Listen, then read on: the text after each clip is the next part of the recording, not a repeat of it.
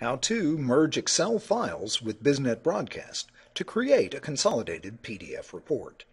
BizNet Broadcast makes it easy to merge multiple PDF files in order into a single report.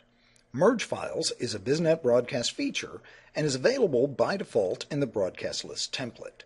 Simply click in the Additional Optional Parameters section and choose it from the dropdown.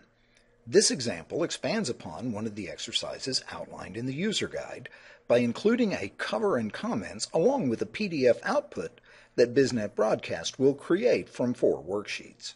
Three of them will be saved individually in a Files to Merge folder. The fourth will go to an Output folder to illustrate how the merge function works. The first example uses a wildcard to combine all the PDFs into one output.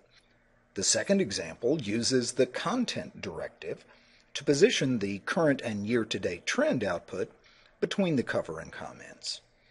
As with all other BizNet broadcast functions, Merge Files output is easily distributed via email.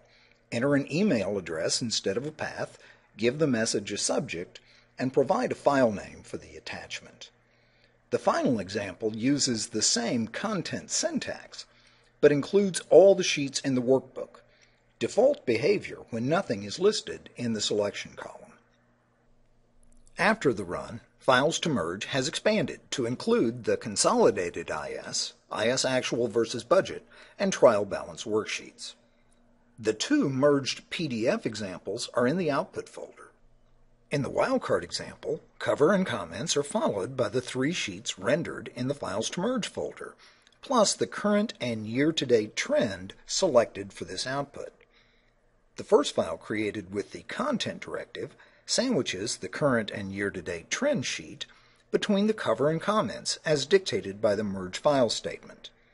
Finally, the email version shows how all the active worksheets are placed behind the cover with comments at the end. Want to know more?